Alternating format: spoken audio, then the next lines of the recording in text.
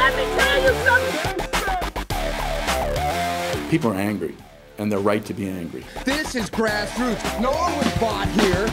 That anger can be used online, uh, in neighborhoods, to get change when people see how change is really created.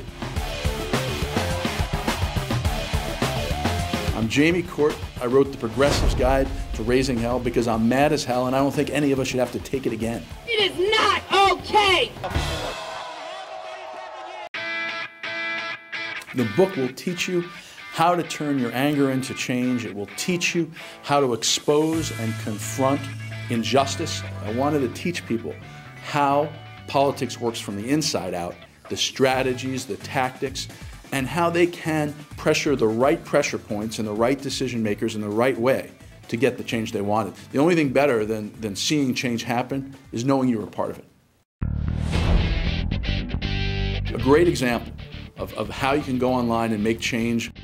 A father who finds that his uh, son's living in deplorable conditions in Fort Bragg when he comes back from war and shows a YouTube video of how bad and how, how uh, dilapidated the barracks are and puts it on YouTube. The shoddy conditions were exposed in a video posted on the internet. It got wildly popular. The Army had to take notice they changed the conditions at Fort Bragg very quickly. The Secretary of the Army acknowledged today conditions at Fort Bragg in North Carolina are unacceptable, and he promised the barracks will be fixed up.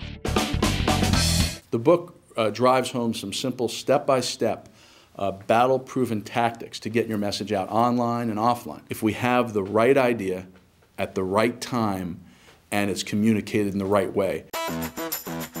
We had a woman named Dana. I called this campaign the Dana versus Goliath campaign. Dana was a woman who lost her husband to cancer and had a very bad insurance policy. Her late husband's cancer related medical bills left her about a half million dollars in debt despite the fact that he had insurance. We found out the coverage we were promised wasn't there. They wanted uh, to pass a bill in Congress allowing more of these types of junk insurance policies, and Dana didn't want that to happen.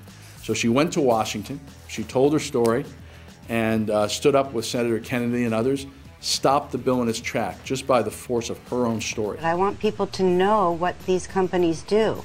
My husband said to me one day, it may be too late for me, but this should not happen to people, and I agree.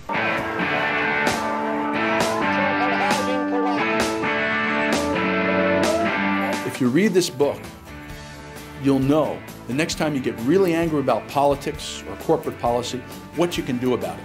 You'll know how to fight back, you'll know how to win. There is a coming progressive rebellion, and you can be part of it. We can all raise hell together